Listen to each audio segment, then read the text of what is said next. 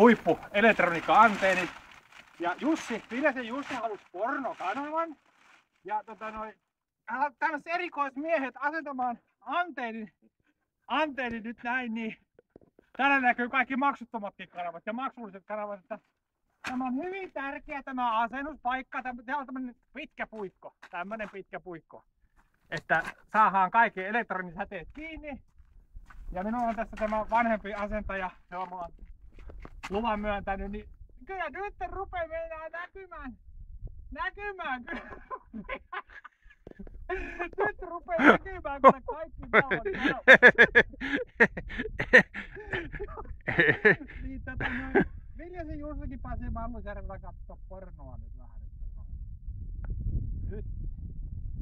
Minusta se on aika hyvä. Ja tota noin, Nythän kokeneempi asentaja voi tarkistaa vielä niin tarkistaa kokonaan asentaja, että onko se asennus on suoritettu oikein. Niin, hyvin on säädetty, niin no se on hyvä, hyvin on säädetty, että kun pannaan tosta kiinni, niin aika maukas ja sitten täytyy tää Mikkelin samani luoksi kanssa mennä katsoa, kun se on niin kateellinen mies, niin silloin kanssa pakko oltava samanlainen antenni, niin pakkohan meillä antaa molemmille.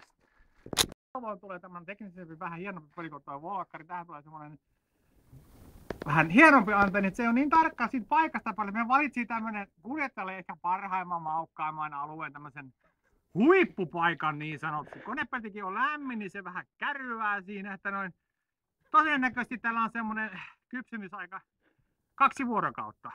Et tota noin, tai ensi sunnuntaina oikeastaan tämä on niinku maukkaamassa kunnossa tämä antenni tässä, että noin todennäköisesti sieltä näkyy Volvon näytössä kaikki kanavat.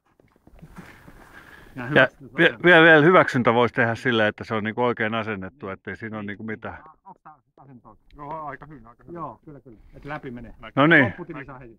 Ei, selvä. Hyvä.